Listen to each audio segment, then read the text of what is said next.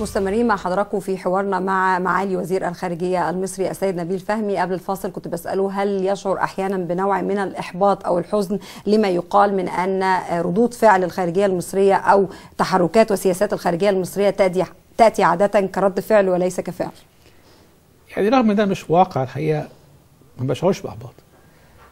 اللي كنت هيشعر بإحباط شديد لو الناس مش مهتمة بالخارجية المصرية. لو ما فيش اهتمام اولا معنى هذا إن الموضوع نفسه مش مهم. ثانيا معنى هذا إن إحنا ما بنشتغلش.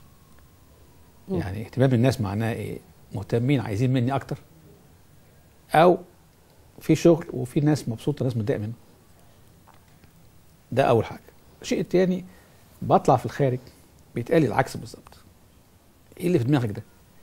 أنتوا قاعدين بتلموا نفسكم داخليا وأنت قاعد تقترح نزع سلاح نووي في الجمعيه العامة. بتقترح مشروعات شاملة في حوض النيل تعاون آه اقتصادي مالي خاص بالمياه. رايح لي في آسيا في الصين واليابان. مرة واحدة لقينا إنه أول مرة في التاريخ في التاريخ يجي وزير الخارجية الروسي وزير الدفاع الروسي لمصر مع بعض. كل ده وأنتم مشغولين. إيه اللي بتطرحه؟ يعني هتنفذ الكلام ده إزاي؟ أنا الحقيقة النقد اللي بسمعه من الخارج ان طموحك زيادة.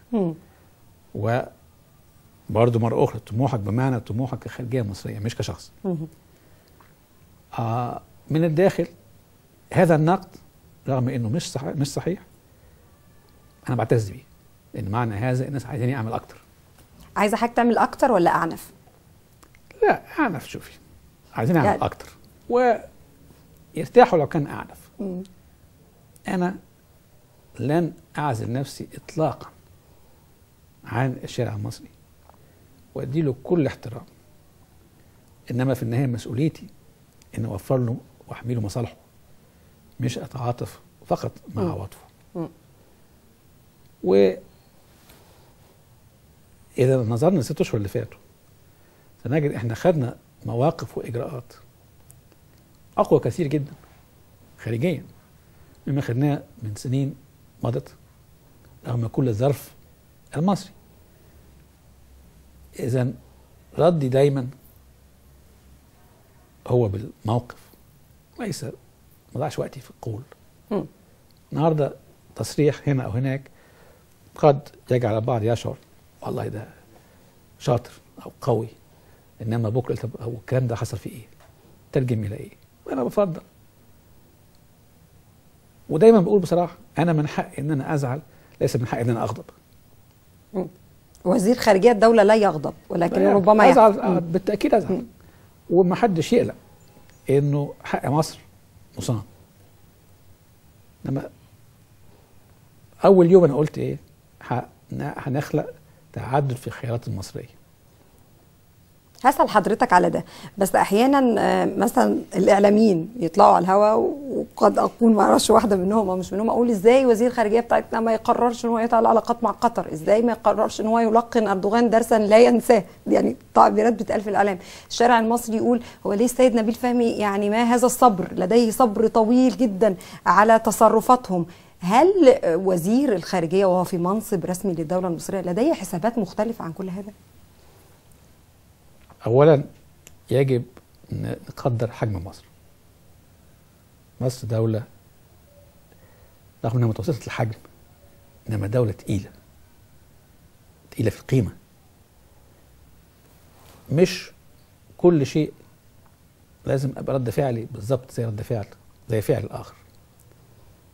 رد فعلي قد يكون أقوى في أمور وقد يكون بأسلوب آخر في أمور أخرى. م. وتختلف من دولة لدولة. تعاملي مع دولة بحجمي بشكل معين. تعاملي مع دولة أكبر مني حجما قد يكون بالمناورة. وتعاملي مع دولة أقل أصغر أو أحدث بتم بشكل آخر. حسابات جزء منها من حيث وضع الدولة وجزء منها مرتبط بمصالح جزء منها والأساس الحقيقة إزاي اوصل للنتيجه اللي أنا عايزها. وبقول دايما والناس بتزعل من هذا إنما هذا هو موقفي إن هذا هو الواقع. مصر دولة عربية بجذور أفريقية. إذا لا يعني ذلك إطلاقا أن سأترك لأي دولة أن تمس مصالحها المصرية. دون رد ما. إنما نعم ببص مرتين تجاه الدول الأفريقية والعربية عندما تكون هناك قضايا معينة إنما أنا مش عايز أخش في في سرد لمواقف خدناها. هكلم حضرتك بصراحة شوية. يعني هل أحيانا حضرتك كصانع للقرار بتقول يعني ما هو أنا مش المسألة إن أنا اخد مواقف وهاجم الولايات المتحدة الأمريكية في النهاية بميزان القوة هذه دولة عظمى ولنا مصالح استراتيجية معاها أو إن مثلا آخد دول قرارات خاصة بدولة زي قطر رغم بعض المناقصات وأقول إن ما فيش إطار عربي بيجمعنا أو في عمالة موجودة. يعني في حسابات معينة تحكم تحركات حضرتك. أنا عايز حضرتك توضحها الراي العام عشان إحنا عارفين عايزين نفهم كيف تفكر. هديكي مثال مثال محدده طبعا في حسابات. لأن أنا في النهاية مسؤول. ما اناش صاحب رأي حر. فأنا مسؤول. إنما ده لم يمنعني اطلاقا من اتخاذ موقف. لما الرئيس أوباما تحدث جمعيه العام الامم المتحدة أغلب الراي العام المصري كان مرحب بالبيان. أنا طلعت في نيويورك. في اللحظة التالية تماما قلت لي انتقادات لهذا البيان وإن العلاقات المصرية الأمريكية مضطربة. تاني يوم خطاب وكان الراي العام هنا مستغرب. ده زعلان ليه؟ قرأت في خطابه قراءه متانيه ل- زائد إنه عايز أبعت رسالة لهم لما جه الوزير خارجيه كيري بعد ذلك مصر كان حوار مفيد وإيجابي. اتكلمنا بكل صراحة. وكان مؤتمر صحفي. أنا بعتقد إنه كان مؤتمر صحفي جيد. ثم سئلت برضه العلاقات كانت فين؟ قلت والله كانت مضطربة. وبدأنا أهو. نتكلم. ما قلتش إنها بقت آه، كله اتحل. لأنه ما اتحلش فليه؟ لأنه وأنا بقولها أهو على الملأ. أمريكا الولايات المتحده دولة كبرى. هعمل لها حساب على المستوى الدولي إنها مؤثرة على المستوى الدولي إما لن أقبل من أي حد إنه يمس المصالح المصرية. في نفس الوقت نحن مصر على المستوى الدولي دولة متوسطة الحجم إنما دولة لها نفوذ واسع خاصة في الشرق الأوسط ولا تستطيع أمريكا أو أي دولة أخرى إهمال مصر في حساباتها. في المنطقة. كل واحد بيعمل حساباته نفس الشيء اديتي مثال بتاع تركيا أولا أول تصريح صدر من الجانب التركي أو بلاش بعد بعد أول مجموعة تصريحات إحنا عملنا إيه؟ ما ردناش عليه بتصريح لأنه التصريح هيأثر في إيه؟ تصريح ممكن غلط خطأ لما أول حاجة عملناها إيه؟ وقفنا المناورات البحرية مم. قرار سهل بهدوء تام ما خدتش قرار خدت عقاب مباشر مم. وبعديها بشوية الموضوع استمر وتكرر ما قطعناش العلاقات الاقتصادية بيننا وبينهم لسبب ما فيش عداء بيني وبين تركيا كشعب يعني. كشعب مم. ولا كحكومة إنما في مشكلة في ظرف معين في موقف حكومي تركي غير تقليدي. فلما وصل لنقطة معينة وكانش حد في الراي العام يعني هي متابع الحدث. في ساعة أول لما وجدت شيء كان غير مريح اتخذت قرار بناء على تنسيق سابق في مجلس الوزراء. ومع رئيس الجمهورية. تنسيق سابق وقرار سابق إنه لو حصل كذا هيحصل كذا. أول لما حصل الموضوع ما خدش 10 دقائق مم. بلغت رئيس الجمهورية ثم رئيس الوزراء إنه ده حصل ومطلوب تنفيذ القرار الفلاني واتخذ القرار في لحظتها والرأي العام كان مستغرب. إيه اللي جد؟ كل حاجة ليها حسابها. هل بقى هل كان مطلوب مني إنه أرد تصريح بتصريح. وايه يعني حرب إعلامية. يعني على المدى الطويل مش مجدية لن تؤثر في الطرف الآخر. لا أستطيع التسامح والسكوت على كل شيء. مم. إنما أيوه نعم بعمل حساباتي. مش بعمل حساباتي من الخوف بعمل حساباتي من مصالح. أسلوب أسلوب لا بس بس مصالح. مم. إيه أفضل وسيلة للتأثير؟ في سياق تاريخي أطول. فأنا متفاهم.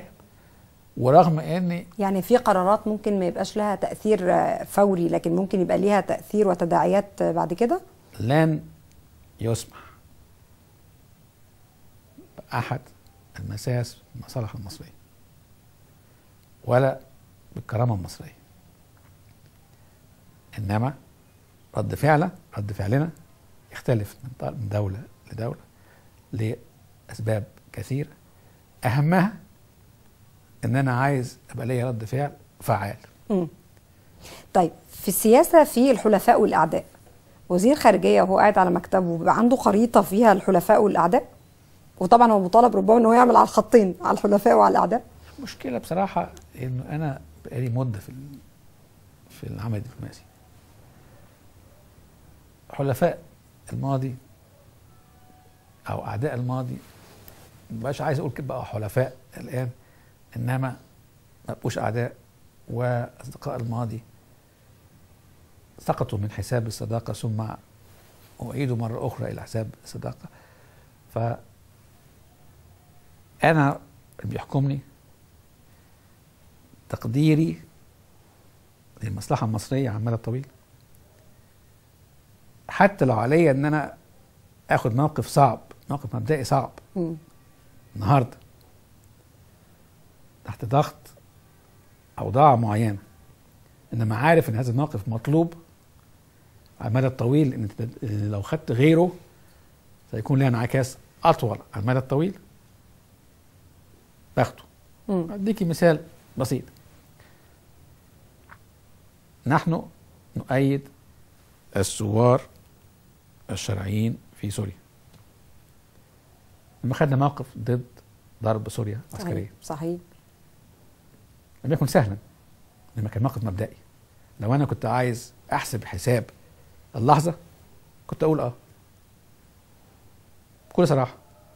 إنما إن بحسب حساب تداعيات هذا القرار على مستقبل سوريا والمنطقة. و- وت- وموقع وموقع مصر التاريخي. كلاهما صعب. لأنه ما هو عدم الاستجابة عدم حسم الأمور مش سهل وحسمه بهذه الطريقة مش صح. وفي نفس الوقت انه أغلبية العالم عايز تعمل كده. إحنا خدنا موقف مبدئي. وأضيف إلى ذلك إن العالم بما من يختلف معنا في الرأي. احترم هذا احترم كل العالم؟ في فرق بين اللي اللي, اللي قبل واللي انبسط إنما كله احترم. آه. السعودية زعلت؟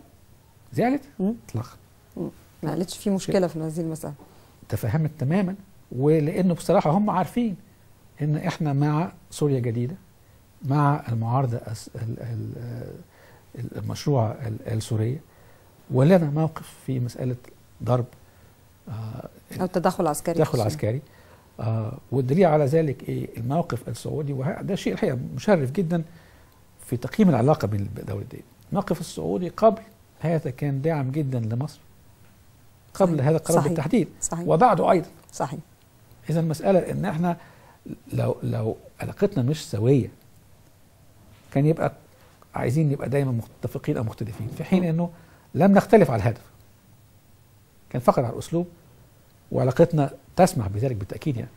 وغيرها في بس الموقف الحالي بتصنف بتصنف مين في معسكر الأعداء؟ أعداء. مم. تطرف. طائفية. تطرف والطائفيه حد تاني يعني. مفيش دول؟ لا أعداء بمعنى أعداء لا. يعني ما أصل أعداء ده مسألة آه يعني التنافس وحتى التصارع مع الدول ما يخوفنيش. إنما الاقصاء الفكري التطرف الفكري الجماد الفكري يقلقني. لأن أنا زي ما قلت في الأول دي مرحلة وهتعدي بكل تحدياتها. بيزك حضرتك كتير إنما. يقلقني. إن نترك في هذه المنطقة لأولادنا واحفادنا يعني تطرف فكري أو تصور طائفي يهدم المنظومة الإقليمية بالكامل بيزك حضرتك كتير وأنت يعني مسؤول عن كل دوائر الس- السياسة الخارجية المواقف ال- القطرية والتركية. وأنا عارفة إن حضرتك يعني دي مسألة من الحاجات اللي كل مرة حضرتك بتعمل حوار بيتم سؤال حضرتك عليها وأحيانا حضرتك بتحس إن هي بت يعني واخدة حجم أكبر من حجمها. لكن في النهاية الناس شايفة إن اللي بينغص على المصريين عيشتهم في كثير من الأحيان واستخدم التعبير المصري بتاع الشارع العادي المواقف القطرية وال- والتركية واللي هي فقط حتى ما كان يتخيله البعض. بدون شك ما وصلت إليه العلاقة بين مصر وتركيا آه شيء آه مزعج. والحقيقة لا توجد اتصالات نشطة بينهم بيننا يعني. على المستوى الرسمي. اللي موجود إدارة أعمال. تمام. آه وعندما نلتقي في محافل دولية التعامل يعني بشكل رسمي مهذب إنما ليس بروتوكولي دبلوماسي آه الحقيقة يعني. آه سبق أعلنت أكثر من مرة. الوضع بالنسبة لنا مع قطر آه غير أو إحنا مش فاهمين قطر كانت عايزة إيه هناك إجراءات معينة سجلنا قبل قبل كده مرات عديدة تحفظنا تجاه وبلغنا هذا الكلام لهم. ف هو تعامل بشكل مش عايز أقول دائم إنما بشكل متواصل مع وزير الخارجيه القطري مم. وبنقل إليه تحفظات. وهو بيشرح لي وجهة نظره. إيه وجهة نظر؟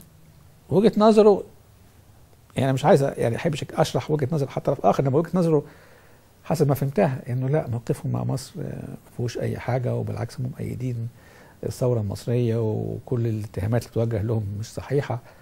آه وهم بس إيه يعني يتمنوا لنا التوافق وخلاص يعني. يعني قد أكون يعني ما بشرحهاش بشكل كامل فده دبلوماسيا من اللائق إن الخارجيه أي خارجية يعني حضرتك مثلا تتابع موقف في دولة ما فتدعو آه، آه، طرف أنت عارف إن هو بيمارس العنف فتدعو الحكومة بتاعته إلى الحوار معاه؟ يعني موقف الخارجية القطريه لهذا السبب أنا قلت لك. يعني الموقف موقفهم غير واضح وأنا نقلت هذا الكلام لهم. تمام. فنفس السؤال بتاعك ده أنا قلته وزيادة. فأعطاني مبررات أو تفسيرات إنه لا الأمر مش هكذا. ولم نصل حتى الآن إلى توافق بل بالعكس لا زال الأمر معلق. آه فهننتظر بعض الشيء. طيب بما إننا في الدائرة العربية الخليجية هل حضرتك بتتفق مع بعض التحليلات اللي بتقول أن هناك دعما سعوديا اماراتيا أكثر منه كويتيا؟ لمين؟ لمصر. هناك ش... هناك بدون ادنى شك هناك دعم سعودي إماراتي لمصر واسع جدا قوي جدا بدون أي نوع من التردد على الإطلاق. آه يعني ما احبش اقارنه بدول أخرى كل دولة حرة مم. في موقفها أعتقد إن الكويت أيضا آه، مهتمة للغاية باستقرار مصر بنجاح التجربة المصرية بنجاح خريطة خريطة الطريق المصرية آه، هناك استثمار كويتي واسع. هنا آه فما ما بقيمش حجم الدعم أو قوة الدعم من دولة وأخرى كل دولة لها لها ظروفها واعتباراتها يعني. هل دعم آه، الإمارات سياسيا واقتصاديا طبعا لمصر بدا يبدو مختلف الامارات كوحده واحدة يعني الامارات العربيه المتحده ما بين إن أبو ظبي أكثر دعما من دبي وهكون مع حضرتك صريحة. ده في ضوء التصريح اللي قاله الشيخ محمد بن راشد ال مكتوم في مسألة ترشح آه، الفريق أول عبد الفتاح السيسي. رغم إن في بيان لمجلس الوزراء وضح هذه المسألة لكن ثم التحليلات تريد اللعب في المياه العكره إن صح التعبير وتقول لا إن أبو ظبي كحكومة دي داعمة آه، دبي لا غير داعمة. لا الحقيقة لم أجد ذلك. وزرت آه، ال- الإمارات العربية عدة مرات بما فيهم آه، أبو ظبي ودبي. لم. أجد اطلاقا أي فرق بين بين الموقف ولا آه، واحدة واحدة. بين بين بين مسؤول أو مسؤول آخر. لا. طيب عايز أسأل سؤال يبدو تحليلي شوية. مشكلة الولايات المتحدة الأمريكية أو واشنطن يعني في ترشح شخص زي آه، المشير أول عبد الفتاح السيسي. هل لأنه شخصية قوية وهي لا تريد أن يأتي على رأس السلطة في مصر شخصية بهذه القوة ولا لأنها تخشى من تنامي دور مصري آه، عربي خليجي فيما يسمى بمحور القاهرة الرياض أبو ظبي يعني مشكلة السؤال إنك بتوجهيه لمسؤول مصري عشان يفسر موقف دولة أخرى آه. لو موقف أمريكا أنا قلت هو سؤال تحليلي يعني أنا فاهم. في آه، بعد الرؤيه يعني. أنا فاهم السؤال بس هو مشكلتي إن أنا أخشى إن أفسر الموقف الأمريكي غلط مم. انما ممكن أقول لك آه تصوري ما ما تاخدوش على إنه الواقع بالضرورة أنا في اعتقادي إنه يهم الولايات المتحدة أن يكون هناك استقرار في الشرق الأوسط هم عارفين تماما إنه لو لم يكن هناك استقرار في مصر لن تكون هناك لن يكون هناك استقرار في الشرق الأوسط شكل الاستقرار بيدخل في حسابات لديهم قد تكون متوافقة مع حساباتنا أو تختلف معها وأنا قلت لك في البداية هم تصورهم إنه دخلوا الإخوان المسلمين بالتحديد. في الحسبة السياسية مم. إنه ده أفضل من عدم دخولهم فيه مع صعوبة المسألة دي وموقفنا نحن كان أي طرف. سلمي. ليس على يده دماء. يستطيع أن يشارك في العمل السياسي وفقا للدستور والقانون. وهو النص ما ذكره رئيس الجمهورية. من على يده دماء. من غير مؤمن بالدستور أو غير ملتزم به. أو من يخالف القانون. ايا كان توجهه السياسي. يساري يميني ديني غير كده. ملوش مكان. مم. في الحساب. والإجراء الذي اتخذ بمجلس الوزراء اتخذ بعد خمس أشهر من الأحداث. آه معلش ممكن أتوقف في النقطة دي. اتفضل. افاد ولا ولا أضر دوليا؟ يعني من ناحية الواقع المصريين بيقولوا طب لما تم إعلانها جماعة إرهابية الموضوع ما اختلفش كتير قوي في التعامل داخليا معاه. لكن دوليا آه، زود على حضرتك الأعباء في مسألة آه، يعني توضيح موقف الإخوان باعتبارها جماعة إرهابية ولا خلى الأمريكان لأن اتقال إن في الاتصال اللي تم بين حضرتك وبين جون كيري كان بيطرح على حضرتك بعض علامات الاستفهام حول مسألة اعتبارهم منظمة إرهابية. جون كيري وغيره. مم. سألوني عن على السؤال ده. مم. وردي كان لم يختلف بين طرف وآخر. يا جماعة دعيوا لمجلس الوزراء. الحكومة في البداية دعيوا إلى لجنة الدستور بعد ذلك. آه أكثر من مرة كانت هناك محاولات إنه أي حد عايز يشارك في المسار السلمي يشارك.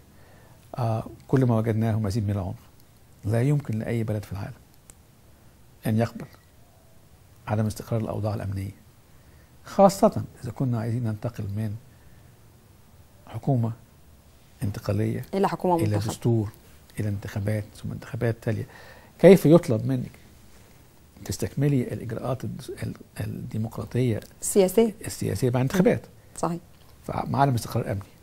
كلام غير منطقي. صحيح. إذا عشان الناس تتنافس وتنزل في الشارع لأن في استقرار أمني. كيف تنجح الحكومة؟ أي حكومة؟ وأي رئيس؟ أي رئيس.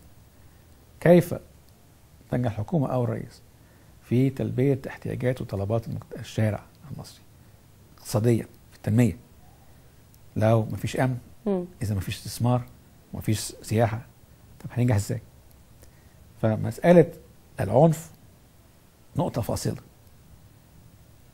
هي اللي بتحكم اللي حكمت القرار مم. لو ما كانش هذا قائم كان هيبقى قرار مختلف ومع هذا مع كل هذا إعلان رئيس الجمهورية ظل وهو نفس زي ما ذك- ذكرته زي نفس ما قال ما ذكره لجنه الخمسين عمرو موسى الدستور لم ي... لم لم يقصي أحد لم يقصي. مم. طب هرجع للسؤال اللي أنا كنت طرحته وعايزة وجهة نظر حضرتك التحليلية في شخصية الفريق عبد الفتاح السيسي بهذه السمات هي من تقلقهم ولا آه، خوفهم من أن يكون لمصر بعد مرحلة الاستقرار وجود شخصية زي الفريق السيسي تواجد عربي قوي أو اقليمي كمان حجم التغيير في مصر أكثر من قضية شخص. حقيقة اعتادوا في مصر إنه يا إما الرئيس عارفينه يا إما عارفين اللي جاي بعديه. ما بيحصلش ما بيحصلش كثيرا. وبصرف النظر عن هذا الرئيس أو ذاك التحرك بيتم بسيط أو بطيء. اللي حصل في مصر ثورتين في سنتين ونص. سيبك من الأمريكان فوق إحنا فوجئنا. يعني كنا عارفين إنه في مشكلة هتحصل وإنه في أزمة. بس حدش لكن مش بهذه السرعة. مش بهذه السرعة ومش به... مش بهذا التوقيت بالتحديد اذا مش بس أمريكا اللي بتبص على ال- على مصر. إحنا كمصريين بنبص على مصر. إنما ملتزمين بخريطة الطريق. العالم كله بيبص على مصر. برضه سيبك من الأفراد. أنتوا كشعب هتنتهوا إلى إيه بالظبط؟ أنا ليه كنت مهتم بالدستور؟ لأن وضع الصورة السياسية الهوية السياسية للبلاد تبدأ بالدستور. هي منظومة. مظبوط. بعد كده نعمل قوانين. ده اللي بيحكمنا. ده خريطة ده ده الساحة اللي إحنا متفقين عليها. إسلاميين وغير إسلاميين عشان ما نستعملش الكلمة اللي بتعصب الناس. مم. هي هو ده الدستور. نحط بقى فوق هذا الكلام وده الأهم نحط فوق هذا الكلام رئيس قوي أو رئيس ضعيف ده مهم برضه. إنما الأهم حجم التغيير وتساؤل حول التغيير ده رايح لغاية فين ثم شكل النظام السياسي. آه وكما ذكرت في البداية إذا كان هناك موقف مصري موالي أو مؤيد للغرب وسطي الطباع طموحاته آه آه عادية. معتدلة. مم. طموحات مشروع انه معتدل. ده هيرضي العالم كله. إذا ايا كان مين الشخص؟ إذا كان ال- الموقف تجاه اليسار أو تجاه اقصى اليمين لن يريح إلا من هم في اليسار أو من هم في اليمين صحيح وهنا بقى وجود شخصية قوية أو ضعيفة على في, الر- في الرئاسة لها حساب لأنك دخلت في إيه؟ في ثنائية أو ال- قطبية يعني. بالظبط. آه فالحقيقة بكل احترام للفريق الأول السيسي ولا أي مرشح آخر وأنا بأكد على ذلك. كل احترامي لأي مرشح كان الفريق الأول السيسي أو غيره. ومفيش حد فيهم اترشح لغاية دلوقتي. هيحاسبوا على نفس الحساب. يمكن بداية ثقة في شخص أكثر من شخص مم. ليه؟ لأن في خلفية تاريخية ست أشهر اللي فاتوا إنما في النهاية كان المصري وده الأهم هيحاسبهم كلهم من نفس الم- بنفس المقياس آه وعلى الرئيس القادم أن يستجيب لتطلعات الشعب المصري أولا وأن يراعي في جميع الأحوال أنه لكي ينجح لابد أن يستجيب لهذه التطلعات في إطار منظومة دولية متكاملة نحن لا نعيش في عزلة عن العالم هدخل على الدائرة الأفريقية وبيبرز فيها على طول إثيوبيا وهناك يعني حالة آم، معرفش ده دبلوماسيا صح ولا غلط من ما يبدو أنه انسداد في المواقف ما بين الموقف المصري, والموقف الإثيوبي. هم عازمون على الاستمرار في سد النهضة جمدوا آه، التقارير الخاصة باللجنة الثلاثية. هناك من يشير إلى أن وزير الخارجية الحالي في هذه المرحلة الانتقالية إذا استطاع أن يحافظ فقط على عدم التدهور أكثر من ذلك يبقى عمل إنجاز كبير لأن هذا الملف وهو ملف مياه النيل سيطرح بشكل واضح جدا كأحد التحديات الرئيسية اللي بتواجه أي رئيس قادم هقول لحضرتك بلاش انسداد وسد لأنها بتخلق واقع الحقيقة إنما أنا فاهم السؤال وبقدره. آه لا أستطيع أن أكتفي ب ان الموضوع ما يسوقش أكتر من كده. ده موضوع حيوي بالنسبة لمصر الحقيقة. ولن أكتفي أيضا بتسجيل إن إحنا متمسكين بحقنا التاريخي في المياه. هذا واقع. ولن نتراجع عنه ابدا. مم. انما ما أسعى إليه ضمان موارد مالية إضافية عن حقنا التاريخي. مم. ليه؟ لأنك بنزيد مليون. بقينا تحت خط الفقر المائي خلاص. فاذا هحتاج زيادة. مم. اذا أنا عايز أحافظ على حقي وأوصل لزيادة. في إثيوبيا ما عندوش مشكلة ميه عنده مشكلة تنميه مش ميه عنده وفر في الميه في السودان ما عندوش مشكلة ميه عنده مشكلة مية منتظمة. لأن بيجي له سيول ثم يجي له جفاف ثم يجي له سيول ثم يجي له جفاف. فاذا في وسائل لإيجاد حلول تستجيب لاحتياجات الدول الثلاث وغيرها. أيضا إذا في تعاون عشان بس نكون واضحين تماما تنازل عن الحق المصري مش هيحصل. استهتار بالأمن المائي المصري مش هيحصل. ليه؟ ما عنديش بديل. مم. يعني في النهاية لو عندي بديل كنت خدته. إنما 85% من من من المياه المصرية إذا ما كانش أكتر من النيل. مم. إذا ما عنديش بديل هذا الموضوع حياه أو موت بالنسبة لمصر. صحيح. بما إن عايز زيادة لازم أبقى قوي في طرح موق- موقفي وأبقى إيجابي في طرح موقفي أيضا. طيب انت في إثيوبيا أو أنتوا في السودان محتاجين إيه تعالى نشوف المشاكل دي. مع المشاكل اللي عندي. المشكلة جاية من إيه؟ لو جنبنا المؤامرات. تمام. لو جنبنا المؤامرات. المشكلة جاية من إيه؟ من رصيد من الشك عدم. والريبة وعدم الثقة. طويل جدا. مش لأنه كل مواقف السابقة كانت غلط لا. لأنه لم نهتم بما فيه الكفاية. بأفريقيا. وهم أيضا ظلوا ينظروا إلينا نظرة من زاوية واحدة إنه إحنا مستهدفينهم بهدف معين. حيث لما طرحنا الطرح الطرح الايجابي حتى مرحلة ما خدنا النص اللي قاله رئيس وزراء إثيوبيا نفسه مم. قلنا هذا هو موقفنا. ما تقبلهوش. رغم انه مش تصريح اللي هو الخاص إن مش هيعملوا حاجة تضر بالأمن المائي تمام المصري. مم. تمام تمام. آه فهي من ناحية عايزة وضوح تام. هذا موضوع لا مجال للتهاون فيه ولا مجال للمقايضة فيه. بس حضرتك هتعمل إيه يا فندم؟ ويبدو إن حضرتك واقف في مربع لوحدك يعني دول حوض النيل كلها في ناحية بما فيهم السودان كانت معانا دلوقتي كمان السودان انضمت إلى دول حوض النيل. هنعمل إيه لوحدنا؟ لا، اولا لابد من انتشار. ثانيا لابد من الاستماع إلى اهتماماتهم ومصالحهم شوف أقدر أستجيب ليهم إزاي. ولابد أن يبقى واضح إن بتكلم من موقف واثق فيه من نفسي. بمعنى أنا عندي الثقة في النفس ان اتفق وأختلف. أحيانا بيبقى عندك ثقة في النفس كافية بس فقط بتختلفي. أسهل حاجة في الدنيا أعلن البطولة والخ- والخلاف. ثم اترجم الكلام اللي أنا بقوله ده إلى مصالح حقيقية. في أوغندا وفي قمت السنغال. بجولة فيها. آه قمت. بجولة فيهم. بكل صراحة مم. كنت بشير إلى استثمارات رجال الاعمال المصريين طبعا. في الدول دي. ده مش هيديني حل سريع. هيعزز بناء حضرتك مع الوقت. بيبقى آه حاليا في القمة الأفريقية إحنا لا لا نشترك في القمة من رسميه مع هذا الرئيس علي منصور بعت جوابات لكل رؤساء القمة. مم. الافارقه في القمة بمناسبة القمة شرح الموقف الحالي. أنا بعت رسائل لوزراء الخارجية.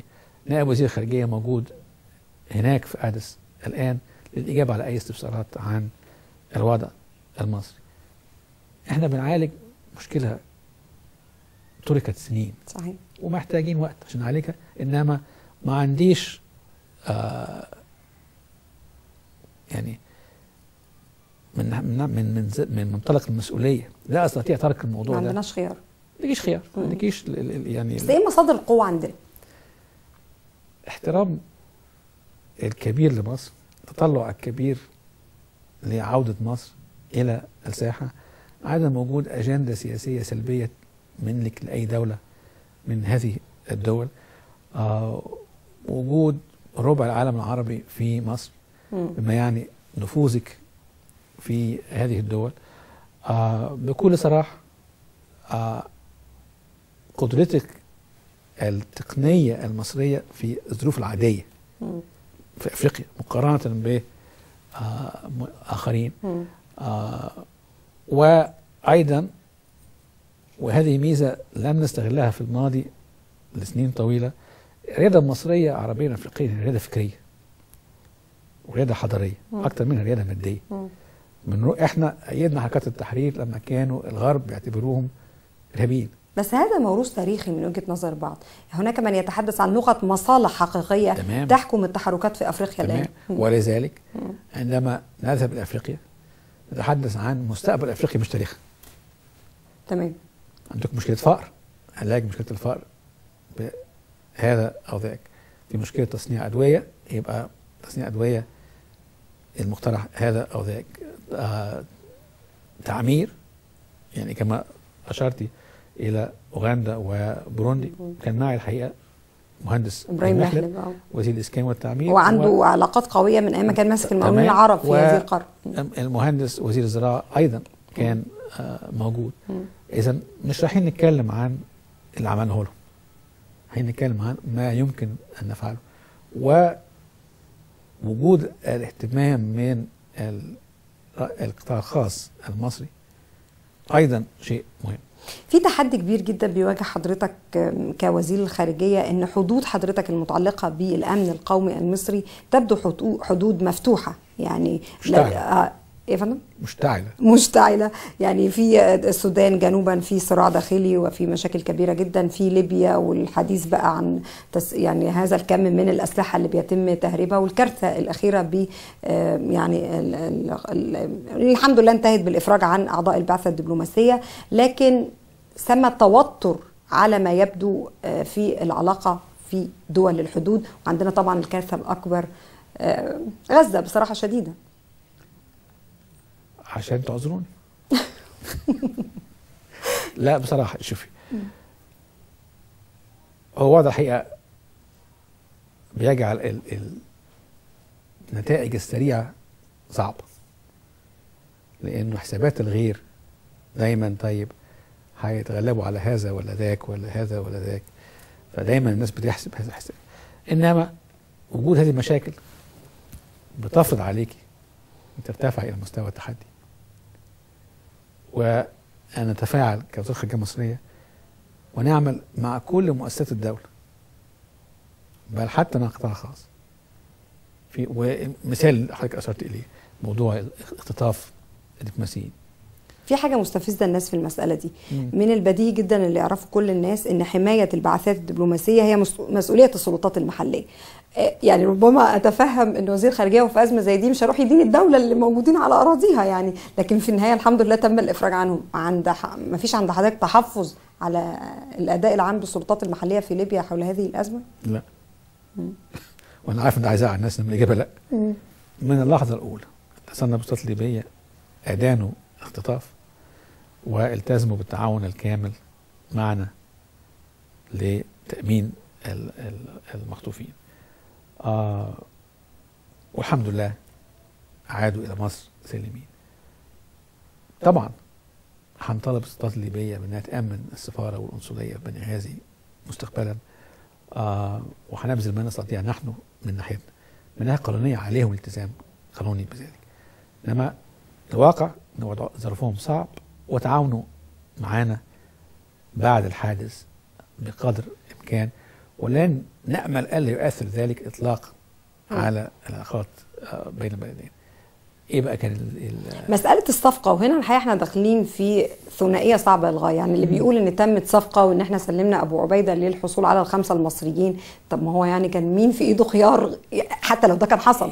ما كانتش الخيارات إن حضرتك تضحي بأعضاء البعثة بتوع حضرتك عشان تحتفظ بمتهم من أنا الناحية ب- العملية. أنا بالنسبة لي كمصر تركيزي كان الإفراج عن المخطوفين. تمام. الخاطفين كانوا بيربطوا بين الإفراج عن الخاطفين وبين الإفراج عن الطرف الليبي اللي كان يتم التحقيق معه. شعبان الدية المعروف ابو عبيدة من اللحظة الأولى للحدث التصريح اللي صدر من الخارجية المصرية كان لابد من إفراج عن المخطوفين رفض الإجراء نفسه. وأن مسألة ما يجري مع الطرف الليبي تحقيق من الجهات المصرية المسؤولة عندما ينتهي التحقيق إذا تم تبرئته أو عدم وجود أدلة للإدانة سيتم الإفراج عنه. غير ذلك سيتخذ إجراء. إذا نعم الخاطفين ربطوا بين الاثنين. إنما إحنا في كلامنا لم نربط بينهما اطلاقا. لأن أعلنا من اللحظة الأولى. من أول لحظة قلنا والله ده في جهاز أمني وقانوني بيحقق. لأن الوضع في مصر يعني في قدر من التوتر محتاج إن. تضمني التزام الكل بالقانون. صحيح. لو ما جاتش حاجة هنقفلك عنه. ما قلناش إنه ده مقابل ده. إن ده مقابل ده. ولن يكون هذا هو الأمر. إنما بالفعل الجانب الليبي كان رابط هذا الكلام. طيب قبل ما أنهي هذا الحوار ما ينفعش أسأل عن ما أسألش عن حماس. يعني هناك طول الوقت قناعة يقينية لدى الشعب المصري أن حماس تهدد الأمن القومي المصري وأن ما يحدث في سيناء وربما وصل إلى قلب العاصمة أيضا ليس بعيد عن آه، غزة أو على العناصر المسلحة الموجودة في هذا الامتداد سواء غزة أو سيناء. لكن إحنا هنا بصراحة شديدة وبنحاول نضع آه، نفسنا مكان حضرتك. في معضلتين رئيسيتين. الدور القومي المصري عربيا ودعم القضية الفلسطينية ومعاناة أهالينا في غزة وفي نفس الوقت الأمن القومي المصري. في ناس في الداخل بيقولوا لحضرتك يعني مش ممكن يعني هد الأمن القومي المصري يهدد وإحنا هنقعد نفكر في البعد الإنساني لأهالينا في غزة. وأهالينا في غزة يقولوا عليكم ألا تجعلونا ندفع ثمنا لبعض الأخطاء اللي إحنا مش مسؤولين عنها. هذه الثنائية الصعبة. من ضمن الثنائيات الصعبة اللي مطروحه آه نعم إنما واقع الأمر عناصرها واضحة بالنسبة لنا. من يمس الامن القومي المصري داخل الحدود المصريه سيحاسب سيدفع ثمن ذلك وده اللي بنعمله بنعمله بالفعل عملتوا إيه مع حماس؟ الإجراءات اللي بتتخذ داخل سينا ضد أي حد بيقول عمليات داخل سينا واضحة. الجيش المصري نشط جدا الاجهزه الأمنية نشطة جدا ضد الكل دون تفرقة بين طرف وآخر إنما هي معادلة صعبة. لأنه في بعض الممارسات مخلة بالأمور الطبيعية. وبيكون لها رد فعل. وفي بعض التصريحات بتجعل الواحد يزيد من شكوكه إنه ما نشهده من إجراءات أو ممارسات هي سياسات وليس إجراء انفرادي. آه فهي زي ما أنت حضرتك بتقولي ثنائية صعبة بس نتعامل معاها في مصر إن الأمن القومي المصري في الحدود المصريه يعالج بأسلوب الموقف المصري القومي تجاه فلسطين لن يتغير. سؤالي ربما يكون الأخير. آه، استقالة آه، إذا ما قبلت استقالة الدكتور زياد بهاء الدين نائب رئيس الوزراء للشؤون الاقتصادية ووزير التعاون الدولي هل آه، هيفرض على حضرتك تحديات لتوضيح هذه الاستقالة للمجتمع الدولي باعتبار أن الدكتور زياد عنده ثقل دولي في ثقة حواليه في بعض التحليلات اللي بتشير إلى أنه كان بينهج نهج مختلف مع هذه الحكومة في بعض النقاط. هل ده يعقد المسألة حضرتك دوليا ولا؟ شوفي أنا أحترم الدكتور زياد بهاء الدين جدا وأحترم وأقدر حق أي شخص في تقديم استقالة بقرار شخصي ذاتي. قد يكون لاسباب سياسية قد يكون لاسباب شخصية وأنا ما دخلش في هذا. وحتى لو اتفق اختلف معه لن أتنازع معه اطلاقا. في حقه في الاستقالة يجب يكون كل منا على استعداد للتواصل أو ترك المكان حسب تقديره مم. وعلينا نحترم ذلك باتفاق أو الاختلاف فأنا مش هخش في هذا اطلاقا بل بالعكس لو طلب مني الدفاع عن هذا الحق هدافع عنه. وأنا داخل الحكومة أو خارجها. مسألة الخارج شرح أسباب الاستقالة للدكتور زياد هو اللي عليه إنه يبرر أنا ما اطلعت عليه حتى الآن آه، رغبته في إنه ي- ينتقل إلى العمل العام من خلال المحاماة والعمل البرلماني والأمور دي. آه إنما نكون واضحين يعني, يعني عشان التزامي تجاهك ان اكون اجاوب على الأسئلة. كلما استقرت الأمور بما فيها في تواصل سياسي تنفيذي حكومي استقرار أمني كلما كانت الرسالة أسهل في الخارج. تمام. غيرنا أعضاء من وزارة الدكتور زياد أو غيره. أو الوضع الأمني غير مستقر. مم. أداء الحكومة جيد أو أداء الحكومة أو أداء الحكومة غير جيد. بيخلق أوضاع في الخارج أصعب. نسأل. طب أنتوا بتعملوا هذا وذاك طب اقتصاديا هتنجحوا إزاي؟ مم. طيب هيبقى في إقصاء ولا عدم إقصاء لتيار سياسي معين. آه, بيسألوا حضرتك أين المعارضة في المشهد المصري؟ آه طبعا. طبعا. أس- بس- أسأل كثيرا. والاجابه الحقيقة إن هناك توافق حول أهمية الحفاظ على الكيان المصري على خريطة الطريق آه على إنجازات الثورتين. حتى لو اختلفنا فيما بعضنا داخل هذه مم. المجموعة فيما يتعلق بسياسة اقتصادية اشتراكية بعض الشيء أو اجتماعية بعض الشيء أو رأسمالية آه بعض الشيء. بس خلاف سياسي مش اقتصادي. آه حتى في المجال السياسي يعني ال ال ال ال النقاش حول الدستور مم. حول هل هي حكومة مدنية ولا دولة مدنية وده خلاف. وهذا يعتبر معارضة في إطار خريطة الطريق وسئلنا في الخارج طب أنتم مدنية ولا مش مدنية؟ طب إيه المقصود؟ كل هذا يعني مرة ثانية من أهمية مصر لا يمكن إغفالها. إذا بما إنه لا يمكن إغفال مصر لأي طرف أجنبي عنده مصلحة في الشرق الأوسط أو في يعيش في منطقة مجاورة للشرق الاوسط يجب ما نستغربش وما نتضايقش عندما نسأل طيب فين دور المرأة؟ مم. فين الأقليات؟ هل هذا يعتبر تدخل في الشؤون الداخلية؟ هو أسئلة عن الشؤون الداخلية طبعا إنما تدخل من السذاجه أن نتصور دي دي أجندة مطروحة في العالم كله مش على مصر يعني. حديث عن دور المرأة أو مظبوط، الاقليات دي مظبوط. بتبقى مسألة مطروحة في العالم مظبوط. كله. إنما في ضوء إن في تغيير مجتمعي في مصر. فهذه هذه الأسئلة كلها مطروحة الآن في حين إنها غير مطروحة بنفس القدر في إيطاليا. ليه؟ لأن التغيير المجتمعي مش مش بيحصل دلوقتي. في حين إنه كان موجود في الماضي. فالحقيقة أنا ما بزعلش اطلاقا من الأسئلة.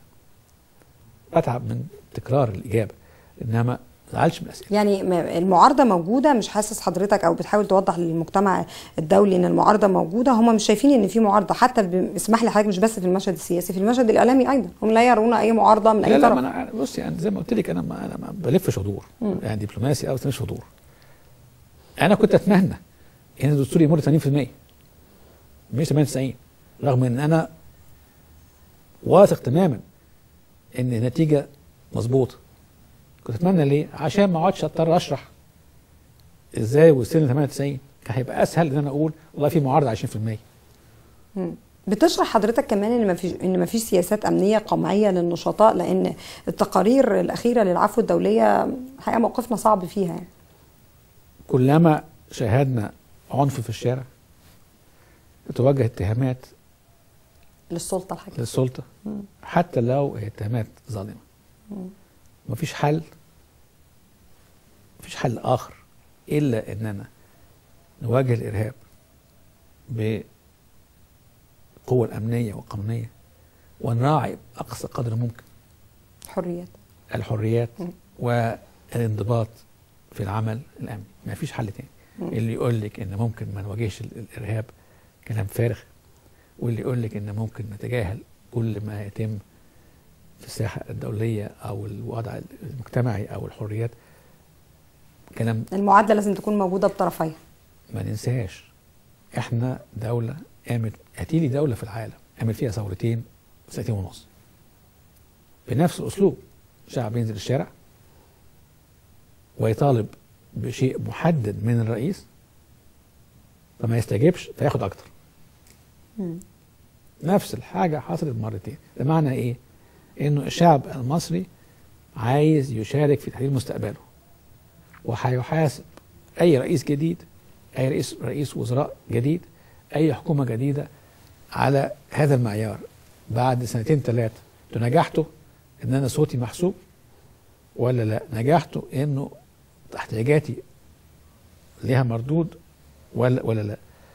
مش هيبقى الشعب الشعب الك- الكائن ال- الساكن قبل سنة انتهينا من القصة دي. صحيح. شكرا معالي وزير الخارجية المصري السيد نبيل فهمي بشكر حضرتك. ويعني حاولنا إن إحنا نطرح على حضرتك بشكرك طبعا على سعة صدرك. كل ما يدار أو بعض ما يدار في الشارع